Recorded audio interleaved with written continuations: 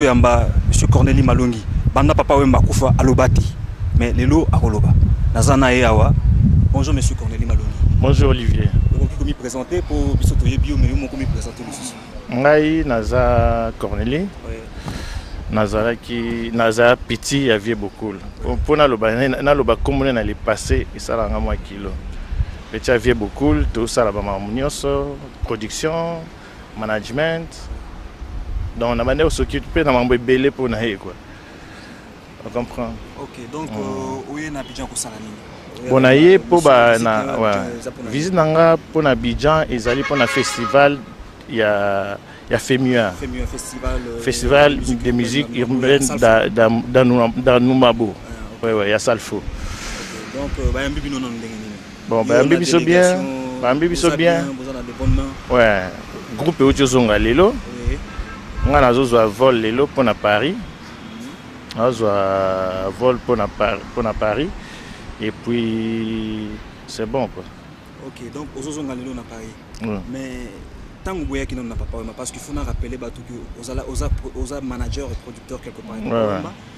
Mais tango boyaki na trou ya Femi wa disons le 24 avril 2016 tango papa Wemba akufaki ozalaki awa? Oui, nazalaki na ye po tozalaki avant il faut nayebi biso dès, dès le début oui. avant toya Femia na 2006 oui. tobetaki na salle oyo palais de la culture oyo eza na nsima na biso oyo eza na nsima na biso na viva tendance wana opesi ngai ide natuna yo question moko donc oyebi papa wemba depuis quand bon papa wemba nayebi ye Papa Wemba nayebi ye en tant que papa Wemba depuis abanda carrière nazo landa na ba TV na na mwana moke hein. mais naye ko fréquenter awa na poto ozomona nde fréquenter milieu viva mais ko approcher boye ezalaki ntango aosala foridol album foridol na nasi ba fin 93 ou bien début 94 ouais ouais Pa, par canal ya un ami à moi, Badive Fula Mpungu. Ouais, producteur wana. Ouais, Badive. Ouais, c'est lui qui m'a présenté Papa Wemba. Okay. Bon, bah, à partir wana, tokomaki mpe kozala na vie, tozala na vie ti hein, tokomi na ba vers les années 99 ah, hein, amoni ndenge na façon na nga kaka ya kozala alingaki na travaille na ye ozomona bon azo alingi kotravaille na nga mais azomemaka mwana apesi ngai apesi nga bande moko boye na nabimisa papa les, les pardons de papa wemba chez les kimbanguistes à 99 nabimisi yango mais nayomonaki kaka makambo yango banda yango mpe ekendaki mpenza bien te natiki na ngai après na 2002 2002 non 2001 na tosali bercy Bercy wana nga nazwaki nini nazwaki cop wana jdk decor aza ami na nga totanga na ye depuis kikwit eh, jdk azalaki liboso na vieux case mpe ya son ame aye place na nga alobi alingi mpenza ke abetisa zenit ezalaki zenit mhm. mais zenit après esimbi te alobi bon namoni ke foto kekaka na bercy le 31 décembre 2001 tobeti bercy bercy eleki après na 2000 na 2002 na 2002 abetaki basale mosusu ba bataclan banini ba, euh, abeta ba bataclan groupe ezongi na 2003 mwa bamakambo eyaki na vie oyo ya mambo boloko ngai mpe bazwaki ngai ocomprendre bopota oyo bakangaki biso batiaki vie n'ecoute ozo comprendre ntango batie vie n'ecoute vie selimo ake kin akenda kin ata ba 3 mois mbila azoluka azozwa ye te na ecoute atali sikoyo wana sikoyo ndenge avoka ayebisa ye nga atali sikoyo me moto oyo abengaka nani plus baluki numero ebengaka plus bayozwi numero na nga batie sikoyo na écoute ntango batie na écoute bakomona sikoyo vi akomobenga ozo comprendre tosola de tout et de rien na makambo nyonso bon bazomona heure moko mpe okoti lisolo wana bon yango wana mpe nga ba barekipera ye ngai okoti après ntango tobimi ngai nazali na ngai na entreprise na ngai sikoyo ya livraison ntango tobimi sikoyo ntango bobimi na casier na ntango bakokanga ezalaki il faut nakende boulot na ba biloko ya boulot eh, mais sikoyo ezalaki oblige babenga na mosala frère na ngai abenga na mosala aloba ke en tout cas azwaki problème moko ayebaki ke bakotika na bango ngai nga mpenza azali na ngai na likambo ya grave te baretenir nga mpo baomona kaka ke comment motu wana basololaka mingi na motu abengaka ye bambala ebele sikoyo bobetaki mbala ya liboso awa na bijan na ane nini na explike yo ti na suka te eh, après tobimi na 3 mois après na 2003 wana ba mois de mai tobimi deux semaines après via bimi après ayebisi ngai ntango mambo ya misala esali mwa ekomi bacontant na ye comme boarbi non abi il faut travailler na nga yo oza sérieux na mambo ebele tozalaka na yo yo faut travailler nanga s'occuper na ngai donc na prendre na ye na prendre na ye nazoka ti lelo mpe kaka nazoka na prenaka mais na ye tobandi tosali album euh, na dem tosali album bazonkion tosali na ye sept album tosali na ye bazonkion tosali kunzilele viva tendance tosali kakayo Tosali Notre Père, tosali Maître d'école, tosali Trade d'Union, Trade d'Union ezali avant Maître d'école, et puis naye osala Forêt Vert. Euh, bon, sikoyo na 2006 nde toyaki obeta na salo. tozobeta na salo na vive tendance oyo esalaki plan craqué 1 km de bouchon ambassadeur ya ya états-unis amarchaki kutu de 1 km mpo akóma na salle tobeta na viva tendance baomba petit bokul bapims bajojo bamamale mwa bato ebele kaka esili c'est bon wana lisolo ya, ya 2006 2006 et puis après bah, depuis 2006 ti 2016 papa abeta a na groupe na ye te ande memaka na biso deux trois personnes tozwi groupe d'accompagnement azoya kobeta awa okay. donc 10 ans après aye sikoyo na groupe na ye au grand complet wana eza na periode ya, ya, ya femua alors femua femua ya 2016 ouais, ouais. Femi ya 2016 wana nde sikoyo aye na groupe na ye. Sikoyo tango bokomi na Abidjan nakoki koloba bokomaki euh, periode ya Femi ya 9e euh, edition bokomi awa le 24 papa akufi yo ozalaki na Abidjan okoki koyebisa biso parce que biloko makambo ebele elobamaki okoki koyebisa biso qu'est-ce qui s'est passé au juste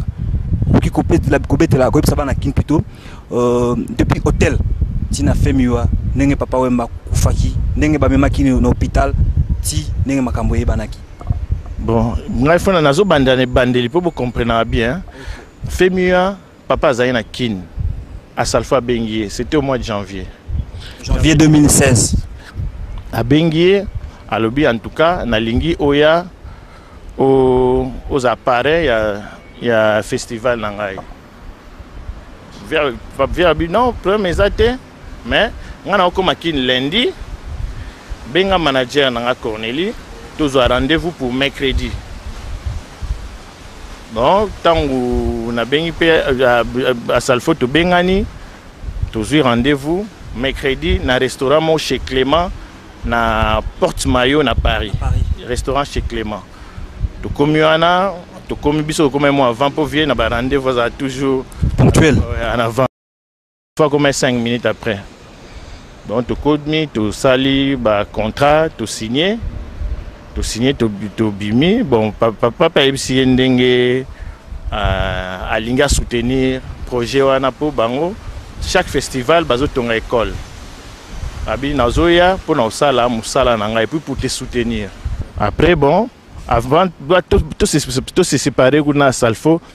Papa ayamba ye fort, atira ye mpenza makasi mpo azalaki mpenza motive ya kobeta concert wana. Après une semaine après, bon papa ntango ayaki azali na malaria, manda oyeba te. Bon toki après balobi ayoka ba malili. Ah, toke na ye alobi na ngai naketika ye na clinique moko na, na Blamnil. Toke na Blamnil babi ah te eza ba fièvre bapesi kaka ba doliprane basui ba masuba ah mpo na kodécouvrir yango mpenza ya mwa pasi hein bazwi bamasuba tozongi bapesi badoliprane babi esila nango yaka bafievre banini ameli me esila te lobi lisusu euh, lobi lisusu abenga abi ah me namoni ti tokende hôpital moko oyo bakoyeba na mwana ti ya malaria toke na hôpital moko bakendaki kuna dadi soso jean verdier na bondi bakei kuna mpe babi aza ah, no bien diagnostic ya malonga ezalaki nano te eh, babi aza ne bien après alongwe wana bakende na dadi nga akendaki te ah, bake place ya master na ye gile maswa bake na bango bavandi babeti masolo badame bavandi balie après abenga bi ato apa gile maswa eh, naza nanga kutu bien asekisi sekisi ne bato kaka nde baseka azongi na ndako c'est bon deux jours après malili ezongi lisusu ah na malili ezongi lisusu mavanda ene na chambre me ye mpe so azobela aolakisa bino mpena te ke azobela eh, aolakisa kaka ke eh, aza makasi alakisa aolakisa te mare mpa nde olamba na ye na ndako abi kaka papa alali aolakisa te première fois vi abengi ngai Première fois banda na yeba ye abengi nga azali na chambre abengi nga abi nde naza boye nazoyoka bien te ah. na papa moto abengi yo abengi ngai kerzoyoka bien te ezalaki un certain mardi ngabi ozoyoka bien te bon nazoya mais siko mardi yango ezalaki grève na baekole tout donc moyen na se déplacer ezalaki te mpo nazali na bana na ndako sikoyo nazozela femme na ngai ya il a fallu aya dans une heure ou dans deux heures comme dadi soso a mosika te na vie nabengi dadi soso nayebisi dadi kende ozwa vie azoka bien te dadi soso ayebisi ngai bia namoni vie azali na malaria ngai akisa malaria na memela ye nafsi dadi nayebi bango kende kaka mpo na insistaki nayebi mai ifo akende nayebi ke so akomi kuna bakokende hôpital mpo vi ayebisaki ngai antuka ifo nakende hôpital nayoka bien te bakei kuna après ntango bakei kuna dadi azwi ye azali na rendez-vous moko mpa ya médecin na ye mo urologue pembeni wana akei na mpa urologue wana po asaele asaele lettre po abayamba ye mbala mo en urgence na hôpital place anda okende bakakei na bobini bake na hôpital bon otan bakei dadi na nzela ayebisi ngai abi ah me namoni mpenza vi ayoka bien te ngabi ayoka bien te bakei kuna ntango bakomi kuna bainterne ye batransfere na hôpital moko na na nini na na na nini na Montreuil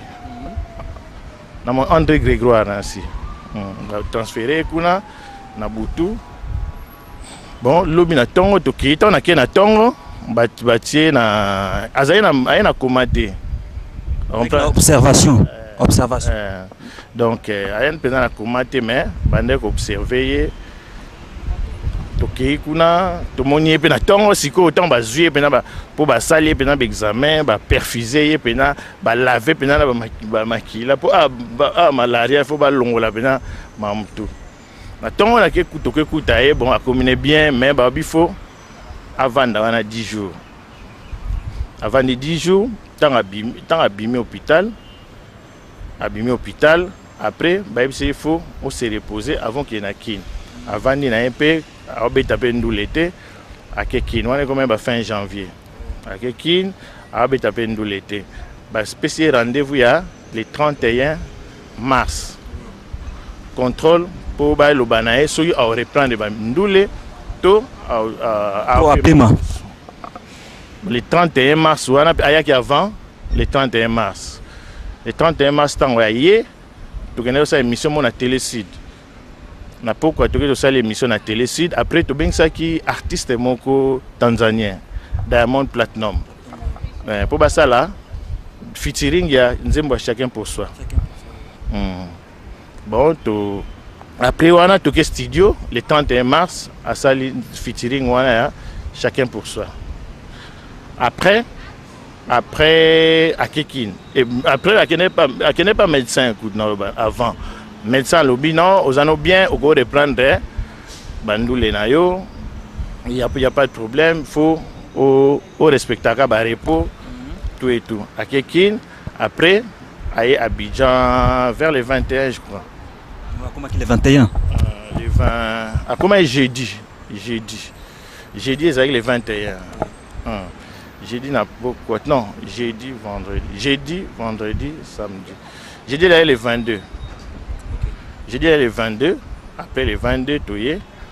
Euh, ngai nalaki bango bakomaki ba 10 h 30 so mtn esalisaki concert mon privé ya 45 minutes la fali via beta ntango ngai nakomi ntango nakokota na salle tokomaki déjà ba presque ba minuit mpo ngai nakomaki na babutu ba, ba 22 h 30 Via Mbandi abandi oyemba nzembo ya liboso ayembi bon 45 minutes ekoki mais son ezalaki mpenza bien te asepelaki mpenza te instrument ayebisaki kuta salfa salfa abi non oyo ezalaka registre mpo na imtn mtn après tokende na numabo instrument yango kitoko tolali vendredi na moi tosali mwa conférence de presse moi esalamaki zongi na biso na hotel tolali Lobi siko samedi euh, concert bon tovandi tolamuki na ntongo tolamuki na ntongo euh, tozwi petit déjeuner après na ba début d'après midi mpo azalaki en rime hein? Eh, azalaki mpena arime makasi il a fallu atya bakisi ameli doliprane na ye ameli doliprane kaka mpo na rime ya ye makasi eh? après asali eh, nini na mais ye ayembaka nde na rime ezala rime na bastudio ezala na baconcert ayembaka na ye mpo azala toujours na rime so azwi vol eh, so azwi vol à chaque fois clim wana ende epesi rime mpo azali na rime ya libela Ah bon, tokei après l'après midi asali bemission na basapeur asali mwa bemission ebele heure moko sikoyo alobi bon ndenge place tokende lia na restaurant place to nde olia abi non abi nanga tolia na biso awa mpo nalingi mpenza nazala en forme mposo na ye silia na restaurant wana le temps nazongaka nasala boye lobi na obanda mais très trop na obanda déjà très tôt matinal donc wana wana na hotel euh, alobi alia na hotel euh, alobi alia na hotel abi na to lia na hotel ngai na biso na te vie awa euh, awa tozo futa tozo futa tozo koma na ba facture ebele ngai olia na kuna bon nalobai na ndenge wana kaka po kuna nayebi ke biloko okotya ata mwa pilipili babiloko teler moko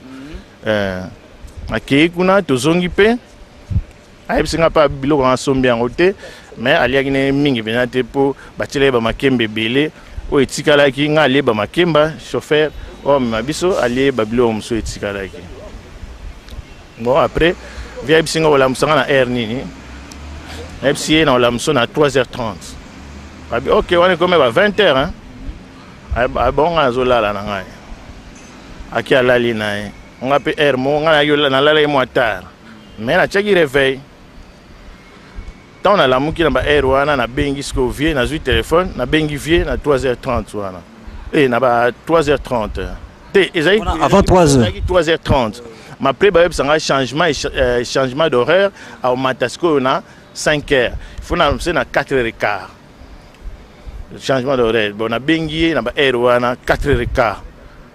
euh, papa nazwi natalaka oh, motu ntango naobenga liboso oyoki voi apongi eh. nabenge boye na mbala osi alamukaki ah. oyo nde nini alamukaki nga sikoyo nasukoli mbango mbango mbango mbango nabandi olata bilamba mpo eh, nakuta ye ntango nalati pantalon nazali na sengle namoni motu moko azobeta porte ya chambre Ah, motu mwa beta porte ya chambre natiki na bia oyo bato kaka ya femi wana alataka kaka abeti lisusu namoni abeti lisusu troisième fois me nafongoli porte namona vie ah, ngai kuna nalati chemise te oh, bon napesaki sac moko amemela bendo na kin mpo alingaki ye kaka moto amema yango mpo apartir ya wana tokangai bavalise na biso mpo tokebeta na mboka mo korogo a 45 minutes ya avion eh, tobeta na korogo tokangai bavalise abi bon zwa sac oyo osimba yango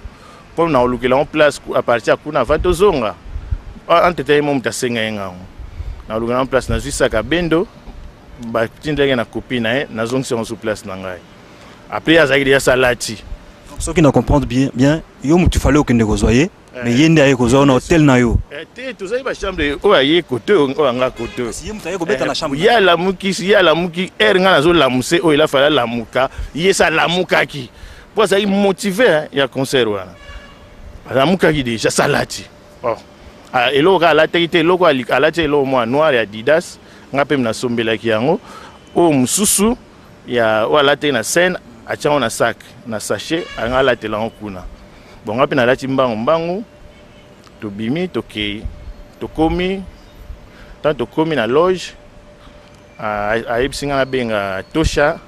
seda benedict zamba ah, na na chanteur moko lisu na nse nabenga mpo bakale répertoire vi asali répertoire tututututu ekumani aye ekumani abi na répertoire oyo blessure awa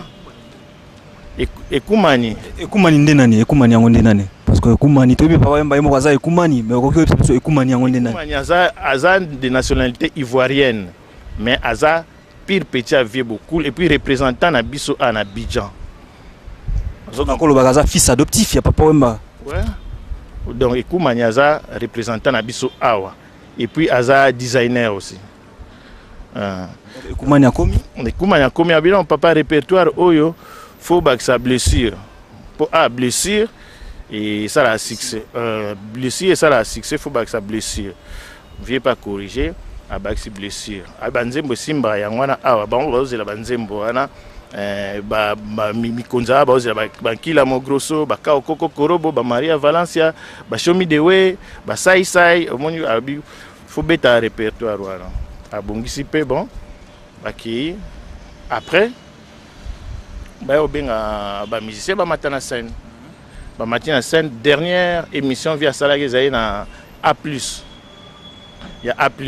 balingaki kuta asala émission via boyi non nakosala émission wana te le même ekumani alobi papa ça c'est obligé pour tout le monde avant de monter sur scène il faut faire cette émission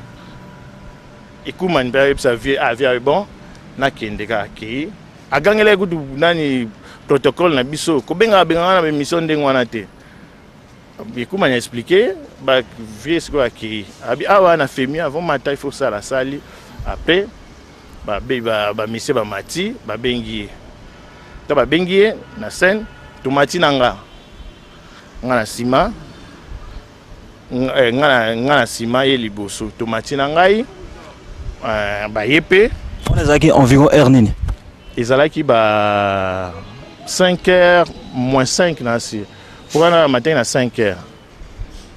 bon baye mpe na nde bamesira baye na micro mpo bamesira etai na ye bamesira etai na ye c'est bon atuni ye c'est bon c'est bon baye na pie ya micro Ba benga ngo trepied. Trepied oui. Euh, euh, ba ba ba ye nango ake nango ba qu'est-ce que a a posa ngo po vieux euh a tant benga et abengi vieux vieux pakoti abandi abandi pe ndule nga pe na ye na sima nazomona ndule ndenge ezobeta si je comprends bien ozalaki na podium eh, na ye sima na ye sima naomona concert ndenge ezobeta navandi naomona amoni mpenza ke bazo koassire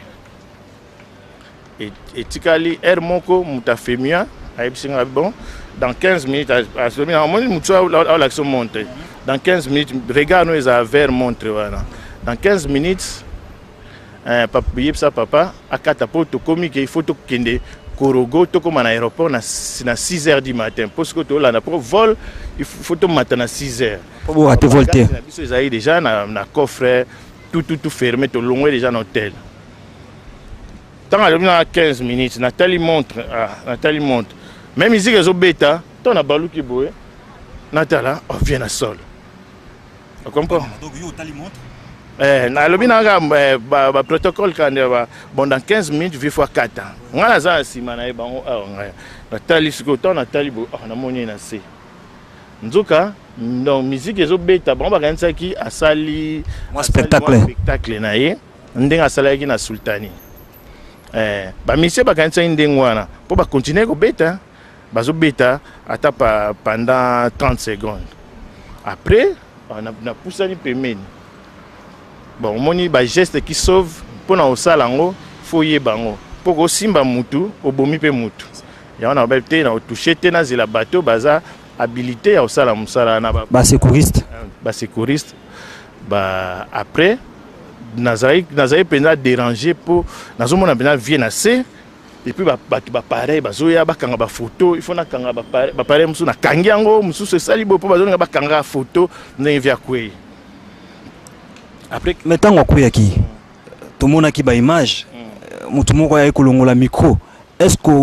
otalaki mpe image wana moto moko ayaki kolongola micro oyo papa wemba abandaki koyemba na yango parce que bato mosusu balobaki ke baye kolongola micro bainterpretaki yango na ndenge ya mabe ezalaki ezalaki micro kaka oyo ntango batiaka na ebandeli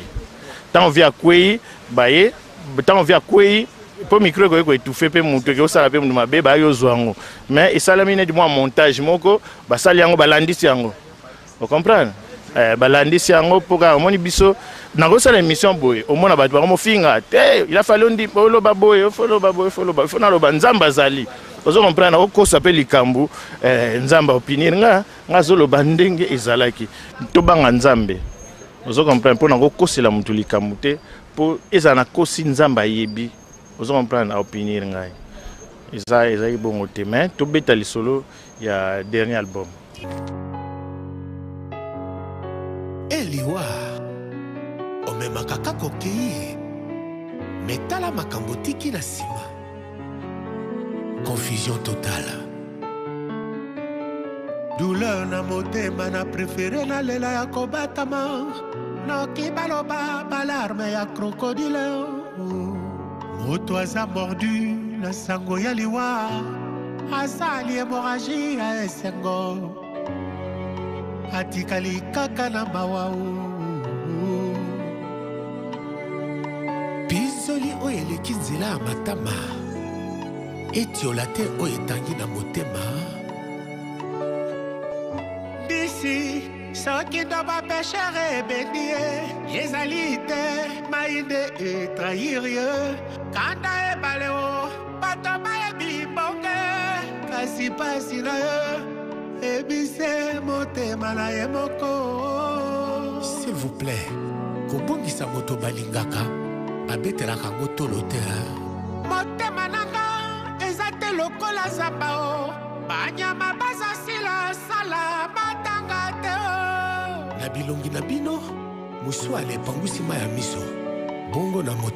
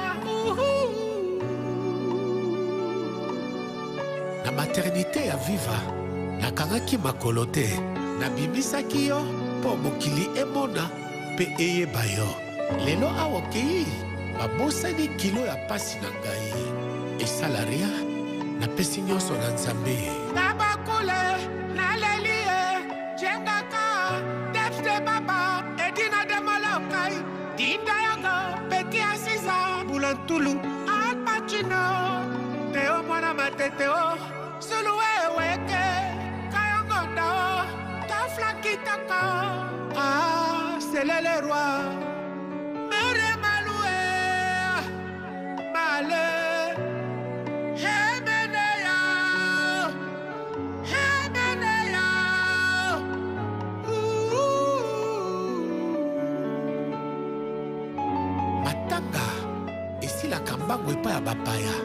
tala ndenge bapanzani kasi epai bakolo na yango ate bopesa nga temps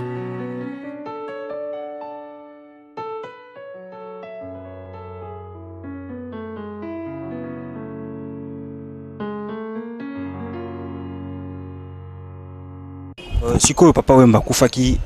to apprenaki atika ki album forever betela biso lisolo ya forever eza ndenge bon forever eza album oyo papa abandaki kosala depuis même 2004 2006 eza album words mais na baalbum to asali ezala bamaître d'école ezala ba, ba, ba, ba notre père rumba ezala batrade union énergie ande opesa na forever wana ezalaki kutu titre na yango ezalaki notre père words Ozo comprendre? Mais sikoyo ba nzembo lokola ba yeteo oyo bozoka ba yeteo tozo tobandaki kozwa kaka ndambu ndambu ezali ba 14 titre omona yeteo tobendi yeteo totiango na totiango na album moko mpo album ewumela ba njamena oyo ozoyoka ba, ba I need you love oyo eza na ba maître d'école eza ewuta kuna ozo comprendre et puis ntango abandi kosala yango abandaki kose donne tobandaki na ba etel ngombe na ba basusi kaseya tobandaki na ba bato ebele bato ebele et puis tokomi toyei osisa yango mpe ya yves njok asalaki batitre wana tosali yango na baprofessionnel papa oyo bakotya voix témoin te azobeta na baguitariste lokola bapatrick madelena hein? ba, ba, ba, ba nani lokola ba, ba, ba, ba Yves Njok, ba ingénieur net ba Mani Pezo, ozo comprendre ba ba ba lokola Ophélie Winter nzembo wana euta kuna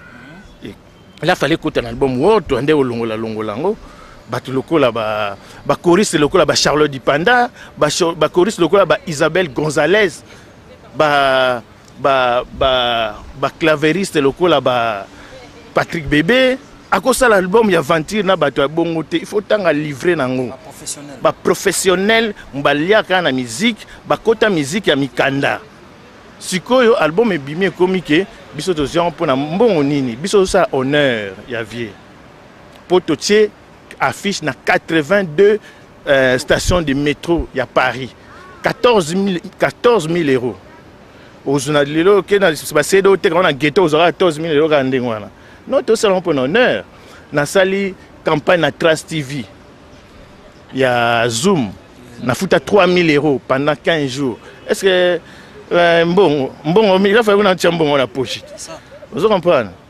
Donc na tosali ba makambo wana tozali ngai mama Amazon Marilo Yaone pour mama Amazon a misé trop pour l'album oyo. Ye moto a produire album. Eh, ngai naza producteur exécutif biso na Marilor manager ya album oyo. Ozo comprendre? Eh, donc toza pe na mutu oyo a soutenaki biso lisusu, c'est un grand monsieur. Kilo bravo pacifique Kaasha ye en tout cas nako bosana ye te vous comprendre abaki ah, comme eza album ya vieux oyo boza nango besoin boyebisa nga naosala oyo ndenge nakokomi kokela asalaki mpe ndenge elafali asala sikoyo bafani ya papa wemba bandimi ba album yango ndenge nini ayambi album yango ndenge nini na kinshasa mpe partout na afrique omoni ntango emosi ebimaki bato bazali deconnecte baomonaka neti foridol ozo comprendre mais lelo album le plus vendu ya papa wemba eza emotion soki tozosala batourne na afrique tosalaka mpona bashomi de way bamari ya valencia banzembo ebele soki mpe na kosi botunaka baartiste oyo ya congo oyo ya minene botuna papa wemba atournaka mpona banzembo nini eza mpona banzembo wana lelo tosali maître d'école tosali forêt vert bon nyonso tu eza bana na nga ezala maître d'école ezala forêt vert mais na, na forêt vert na six mois toza déjà na chacun pourcent toza déjà na plus de d'un million de, de vues ozo comprendre donc mpo eza baprofessionnel babeti yango yanedi moto asali musique wana eza dani sente parmi les maires ingénieur mais parmi les meilleurs arrangeurs ya France pour le moment c'est ye moto asala sape comme jamais ya maître Gims ozomona ye aza kutu baarrangeur te oye opesi ye mbongo atie na poche non faut traiter na manager na ye okepa manager na ye bachèque bavirement makambo tututu epuis mbongo wana ezokɔta na poche na ngai te mbongo ekɔtaka na virement ekenda na compte ya papa wemba liquidatrice eza mama amazone nga nde na travaillaka na vie ezalaka manager nde ezalaka manager bon pourcentage ya manager ezalaka boye eh. bon soki na travaille nazwi pourcentage c'est pas moi oyo naozalaki ezala nde toye na bamusicien bon nafuta bango me natuna mama amazone bon kashe yango oyo nafuta bango combien futa oyo boye ya aloba na futa oyo boye futa oyo boye koma na papier tosali na ye nakomi pa nazwi papier natie na kati natindeli ye balongolaki ngai nazwa mbongo to nasala na mbongo ya viva nde nalingi non nakosala yango ndenge nalingi te mpo ngai ntango tosalaka na travaillaka mpe na ba ferigola na travaillaka mpe na ba werrason na travaille na baartiste ba mj 30 nazwaka pourcentage na ngai ndenge manager azwaka ozo comprendre donc so bolingi botuni ba artiste wana wana ngudi ya osamba te oza no producteur ya bato nyonso te na vie moto alobaki il faut se travailler mpe na bato tout faut travailler na bato tout ocomprendre eza te ke oh, naza soki nde aye moko aloba na ngai ndenge wana omoni me nazalaki nazalaki nde euh, permanent place à vie et puis euh, donc à 90 quoi à 90 Sikoyo ba nzembo oyo eza na album euh, Forever nyonso eza kaka euh, world music to asali mpe mwa rumba ya biso mpo bakongole balingaka mwa rumba ya rumba moko euh, rumba original rumba seul titre oyo tosilisaki vie aza te rumba original vie basololaki le 23 na moi na mg 30 Le 23 na samedi ezali le 23, vendredi ezali le 22. Ah donc via comme le 21 pour na ne bande euh, basoli na MJ30 bon na oyoki so son moko soki nazongi na Paris. ozomona rumba original ayembaki wana petite na biso moko akomaki mpe afere rina malonda Siko comme alongwa na ye ezaka neti 6 millions ayembaki wana petit moko ya angolaise ntango petit yango alongwe mouvement tobendi Nathalie Makoma mais esilaki nango deja oyo mpe ezalaki ndenge wana MJ30 aoyemba mais balinga vie alinga ayemba yango bayemba yango ensemble o comprendre MJ30 aye ayembi et puis adediaki yango na panne mpo ezalaki deja se bayokanaki na panne comme mama Amazon ayebi nyonso mais je suis salaka ya panne esili mais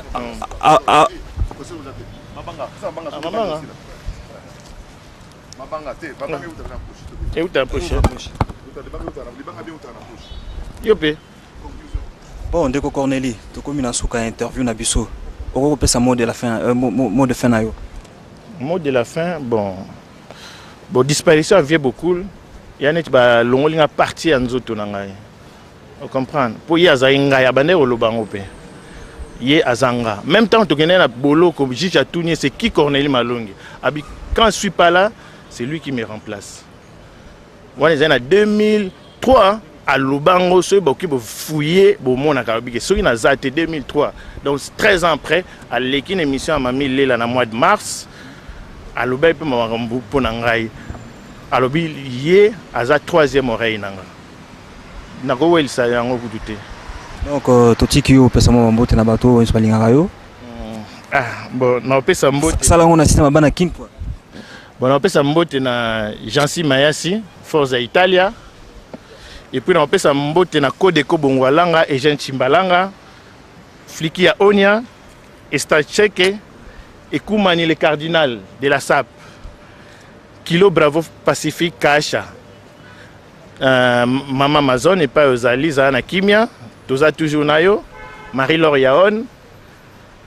Daddy Soso immortel, Yvon Mopala,